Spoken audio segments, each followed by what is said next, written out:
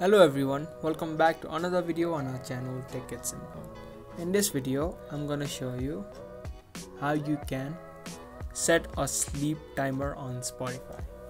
By adding sleep timer on Spotify, you can choose on which time or how long you want the music or podcast to play and after that time has reached it will automatically be turned off now to do that firstly open up the Spotify app. Then choose any of the songs that you want or the podcast that you want.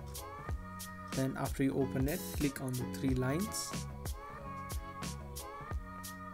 Now if you scroll down a bit you can see an option called sleep timer. Click on it. Now you'll be able to choose the timer on this audio you can either choose 5 minutes even up to end of track. Then after you do that the podcast or song that you're playing will be stopped on your selected time. So that's how easily you can set a sleep timer on spotify.